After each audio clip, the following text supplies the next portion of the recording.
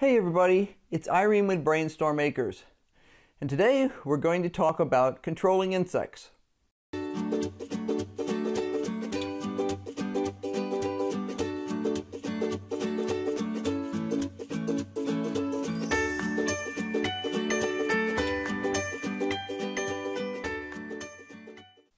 If I want to spray for those during the day, say I have I know that I'm not going to be around after dark and I just I'm not sure what I'm going to do about this. I got to do something now because they're doing damage by the minute. BT. Bacillus thuringiensis. It's a bacillus. It's a bacteria. And you spray it on the leaves, and anything that eats that leaf, whether it's a tomato hornworm or a squishy cucumber beetle thing, or any other kind of critter that eats that leaf is going to ingest the bacillus. It's going to get into the, uh, the, to the insect's gut. It's going to make them go sort of lethargic, and they'll be dead within 24 hours. There are versions of BT that can be used in still water. So I have a cattle tank out there, and I use it for watering the garden. The water that's an open top to it. There's no filtration, there's none of this kind of stuff. So it is what it is, and sometimes we get mosquitoes in there. Hasn't happened in a couple of years, but I have what they call mosquito dunks, which are a form of Bacillus thuringiensis. You just toss one of these things, looks like a donut, it's about that big. It's made out of uh, barley, I think? Barley, rice bran, something like that. It's a grain soaked with this stuff and it sits there and the bacillus gets out into the water and it kills the itty bitty wiggly little bits and pieces that the mosquitoes make. Okay, you've killed the mosquitoes as nymphs. You don't have adult mosquitoes. Simple. If an animal were to drink that water, won't hurt them a bit won't hurt them a bit. You can put it in cattle tanks that are actually being used to water cattle if you want to, although usually they, you don't get so many mosquitoes in there because the cattle are splashing the water up. But knowing what to use and not to be afraid of it is an important part of this. You know, if you have a bug problem, look it up online. This one, this one's kind of a special one. I, I, I love this because it's uh, it's another bacillus. It says for control of plant diseases in and around homes and gardens. It's a bacillus and it will have a, they use big words, aqueous suspension of a biofungicide and a bactericide. So this is actually more for disease, but you have fungus, you have bacteria problems of some sort. This guy fighting bacteria with bacteria. How cool is that? You know? Let them let them wipe out their brethren. I got no problem with that. Liqui-Cop. I use that sometimes in the greenhouse. It is a copper solution. It can be used uh, on citrus, fruits, nuts, vegetables, and ornamentals. It's copper. Copper, like some, like several other metals, actually, because silver is the same way. It has it has antibacterial process, uh, characteristics. It has antifungal characteristics. Copper has been used in the grape industry for hundreds of years. Hundreds of years. You dust the grapevines with copper and sulfur to knock down the fungus because the last thing you want is fungus on your grapevines. Some of these are actually a combo. Let's see. This one is spinosad with other stuff. Uh, that's plain neem. This one is the Monterey ant control. I haven't used it yet, but I need to because I've got ant problems out there, which is why I bought it. This uses a combination of iron phosphate and spinosad. And I did read the details of how it works.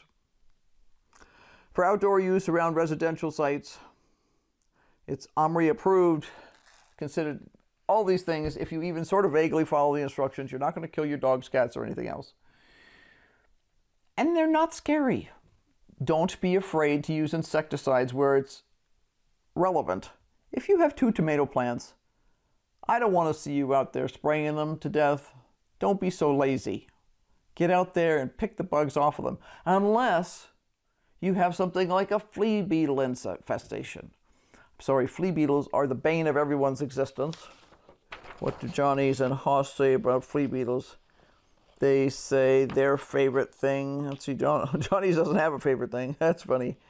Uh, but they say there's several different solutions. The the uh, insect spray by this one, so, which is a spinosad product, will work well. Mycotrol, anything that says myco, think mycelium. That's that means you're using a fungus. Flea beetles here, fruit tree spray. I don't remember which what the fruit tree spray has in it. I don't have that with me. That may have a spinosad in it. Um, yeah, spinosad is another thing they list here specifically. Takedown garden spray, I think that also has um, take has spinosad in it. Neem oil works good on it. Bug buster. The nice thing is that most of these things can be mixed and matched. So, for instance, if I had a big problem going on with both fungus and uh, some sort of bugs, I could actually mix a couple of these together and I'm not going to blow up the world. I'm just going to knock down the bugs harder. And that might take the fungus with it too. Don't be afraid to try this stuff. Don't be afraid to use the stuff, but do read the instructions. You know, like I said here, BT and friends. well, bacillus. BT handles all kinds of caterpillars and squishy little things. This bacillus will handle the fungal end of it. Not bad. So with two bacillus, you could cover everything. Caution is always the best answer to everything. But don't get freaked out about using insecticides. They are just another tool. But if you are a person who cannot follow a doctor's instructions on how to use a medication, maybe you shouldn't use it. I think most of you guys care about your gardens and are capable of following basic instructions. Like I say, these things all come with something that looks like this. Let's see if I can get this guy to peel open. That's probably the hardest thing about these is they don't like to peel open. Here we go. They have a sticky book in the back and it has lots of small print. That's the hardest thing for me is sometimes the print's kind of small. But at the very beginning, it'll say how much of this stuff to use per pint, quart, or gallon. Okay? Some of these are used uh, commercially sometimes, so it'll say something like, well, apply, you know, this much per acre. No. and once in a while you'll find something that makes me laugh because I'm like, hmm, I don't think I have an acre. But somewhere in the instructions it will always say something handy like, okay, I'm going to use a half a tablespoon in a pint of water. Okay, I can do that. It'll also have somewhere in here. It's one of the reasons these are such book, big books is they're usually in at least two languages, sometimes three. Ah, the infamous charts. These are cool. If you're ever bored, read a chart. They will have lots and lots of things and these kind of things will be okay, let's see. Strawberry, it'll, it'll have the name of the crop, uh, which pests are controlled on it, and the maximum number of applications per calendar year, and the maximum days to wait before reapplying, the minimum days rather, to wait before reapplying, and the minimum days to wait from last application to harvest. That's pretty simple.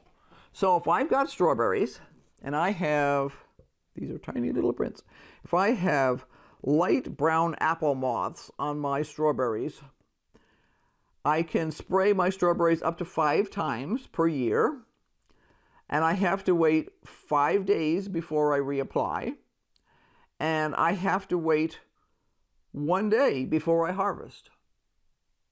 Really simple. They don't expect anyone in, who's reading this to have a college degree.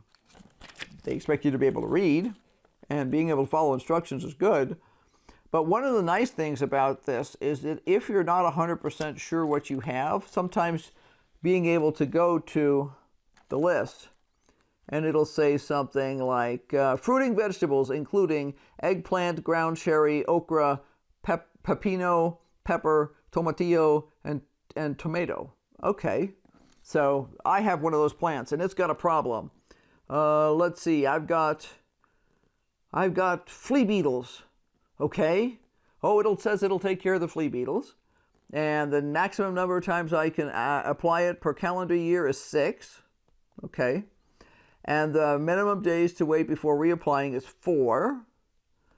And the minimum days to wait from last application to harvest is one. See, a lot of these, the minimum time to wait is one day. So I could spray today and harvest tomorrow afternoon and not have a problem.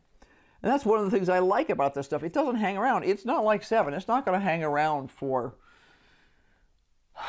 for 3 months. Now, if I was really concerned, say the way the best way to spray is to wait until the bees have gone to bed. Is there still a risk that you could accidentally kill a pollinator? Yeah, there is because sometimes, like in my squash and stuff like that, I have bumblebees that will sleep in the flowers at night. So if I wasn't being careful and I was spraying my squash, which I don't normally do at all, but if I was spraying my squash and there was a bumblebee sleeping in there, I might zap them. Um, to be honest, most of the plants I'm spraying don't have bumblebees sleeping in them. They're usually things like the husk cherries, which have a small, sort of tomato-like flower. Actually, it's slightly smaller than a regular tomato flower. So you, the bumblebees wouldn't sleep in there. Bumblebees sleep in big squash flowers because it's a comfy bed. And it's, you know, it's, it's lovely. They're sitting there next to their dinner, basically. Reminds me of some people I knew in college. Sleep next to the dinner so you can just grab some more when you're hungry. You know, shake well and use. If I was super concerned and wanted to make sure I could never possibly kill a pollinator, what would I use? BT. It's not going to kill everything that's out there. It'll kill almost everything if it's a chewing insect. If it's a tomato hornworm, if it's a squishy sort of caterpillary thing. We have flies in here today. They're driving me crazy. The cat was taking too long to get in and out today, and so was Jack. Ah, anyway, BT I can spray any time of day, and that's one of the handy things about it. So if I know I have no time after dark or at you know after the bees have gone to bed, I mean it depends on where you live in the United States, but in the New England area, the bees don't go to bed until eight or nine o'clock at night in the summertime. So that means you're out there pretty much with a headlamp, and I've been out here with a headlamp before spraying. Um, because I really do make a serious effort that if I have to spray something that is not totally non toxic to um, pollinators, I will get there. I either get out super early in the morning before the bees get up, or I get out there after they've gone to bed. And then I can spray neem or spinosad or any of the other things and not have to worry about it. Because as long as those things are dry before the bees and other pollinators arrive, it's not going to hurt them. That's what the problem with things like Sevin is that stuff can kill something that flies in two weeks later. So that's why I, like I say, if it was one thing I could ban, it would be Sevin. But there are some dangerous things out there. You know, if you read stuff, if you read, say, Nature's Care will be the pyrethrin. So it'll tell you never to throw this into a body of water. Don't let it run off into ditches. Don't, you know, why are you spraying so much that it's going to run off into a ditch? You know, that's usually a problem with with agricultural sprayers. If you have ever watched an agricultural sprayer come through, it's a monster machine and it's got big spray nozzles. And if you have the misfortune of driving down the highway when they're spraying, you could smell it and you're sitting there wondering what you're breathing in and what kind of terrible things it's going to do to you. But that's not the way we do business in the in the garden. You know, I have a small sprayer that I picked up cheap at Harbor Freight, and it does a great job for me. It's completely washable. Uh, it's plastic, so it's not going to hold any goop as long as you rinse it good afterwards. And to be honest, I don't even bother worrying about that with these because they're all compatible. If I decide that I'm having trouble with a couple of different things at once, I can mix these together and just spray it, and it's not a problem. Or if there's a little bit left, now, one thing I do recommend with all these, remember I've said that these don't hold. In other words, you have to make them and use them right away. So I'll make up my half gallon and I will spray the plants that I was meaning to spray. So I've been spraying husk cherries because the Colorado potato beetles, I mean the uh, cucumber beetles, are such a pain at this time of year. And they just make this terrible mess of the plants and chew the bejesus out of them. And you can go out there one day and they look fine, and the next day they look like they've been insanely chewed to death. I can spray that, and now I've got the plants soaked. I mean, I've lifted the leaves, I've sprayed, and nice thing about this stuff is I, I try not to get it on myself too much, but especially BT, I really don't worry about. So I don't bother to put rubber gloves on or anything else with BT. So I'm picking up the leaves with my left hand and spraying underneath with the right hand, that sort of thing. Get in there real good. You know, I don't purposefully try and breathe it, but I don't worry about whether I am breathing it particularly. I just I don't like the smell of most things, so I'm careful. I'm careful when I use cleaners around the house. You don't want to breathe that stuff. So you spray it up, and you've still got two cups of the stuff left, and you're like, okay. I walk over to the potatoes. I'm like, something's been munching on the potatoes, okay? and I'll just spray the tops, or I'll get, I'll spray the bean plants a little bit because there's always something that's going to go bite on a bean plant. I can use the rest of it. If I want to, I can rinse the sprayer when I'm done. If I don't feel like it, I don't have to rinse the sprayer when I'm done. I just mix whatever I put in there next because there's no long-term toxic effect from any of these things. They're going to degrade they're just going to plain degrade within 24 to 48 hours, and it's not a problem, and these are all compatible anyway. So come up with a plan. If you know what kind of bugs you have in your area, get the stuff the year before if possible. Okay, if it's your first garden and you're just learning all that stuff, go to the big box stores, just read the labels, uh, make sure you're dealing with an Omri project product. It simply says on here, for organic gardening, Omri listed, and then it's got the name of the company. And OMRI for organic use. That's what the, the organic farmers are required to use. And you saw, I read the instructions on how the stuff gets used. It's not hard. Don't hesitate to use it. Can you overuse it? Highly unlikely. I mean, most of us don't really enjoy spraying all that much. I mean, I have other things to do. I only spray when I need to, you know. I've got a couple spots in the yard I'm going to have to put some ant control down because their ants have just gotten to be so obnoxious and aggressive and they'll start farming aphids and that's another whole set of problems. So I need to put some of that down. I'll read the instructions again because it's been a while since I read them. I'm always careful. I don't allow the dog or the cat to be around when I'm spraying simply because I don't want to be interrupted. I don't want to have to worry about them licking on something or doing something silly. I mean, dogs and cats are not always the most sensible critters. But once it's dry, I know that it's really nothing to be concerned about. So don't let yourself be intimidated. I do recommend staying away from the weird chemical sprays that you're not sure what's in there. If you stick with things that are Omri, they will be all derived from regular products. They won't have been made in a chemical factory.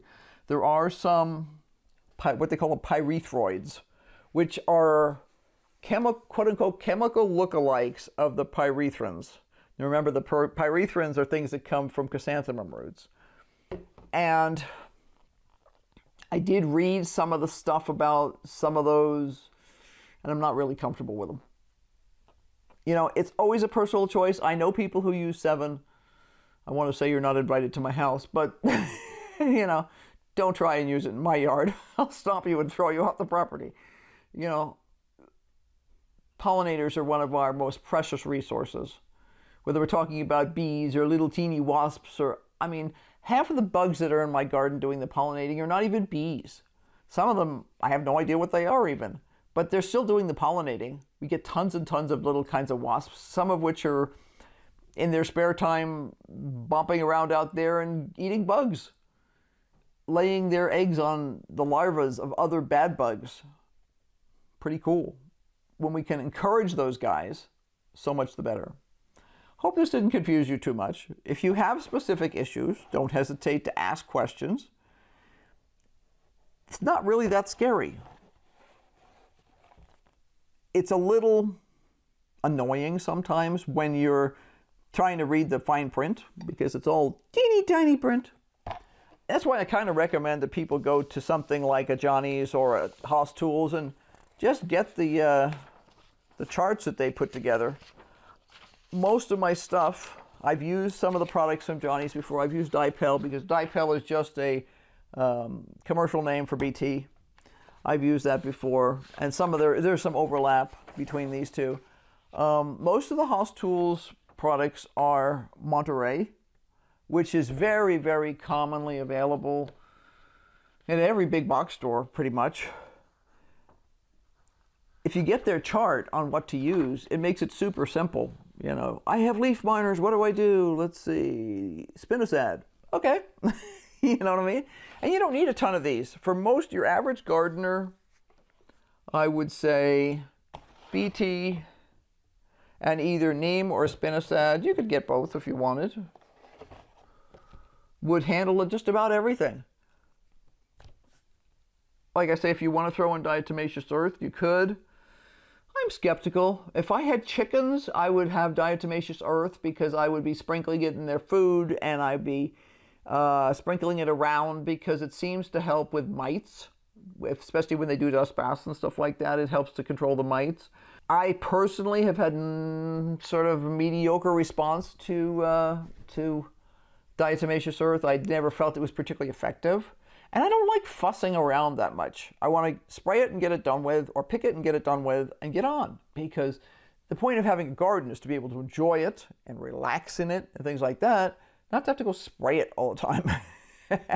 so if I can apply something and know that now I'm still watching every single day, but if I can apply something and know that I probably won't have to do anything again for a week, I prefer that. Whereas if I'm using something that tends to blow off, wash off, or just go away too fast to do its job, more work for me. I don't need that. I have lots of other things to do. So if you have questions, don't hesitate to ask. It's pretty straightforward. Like I say, this is the list of the majority of things that are used in organic gardening in terms of insecticides. That is the, the list. And 90% of the other things, I'll sit there and I go, oh, I've never heard of that before. And then I read the d- description of what's in the ingredients, because I'm a big ingredient reader, and it'll be one of these plus something else. Sometimes they'll take a spinosad or a neem and they'll add some other thing to try and make it better for knocking down fungus or something like that. So be sure to like, subscribe, hit the notification bell. And until next time, bye.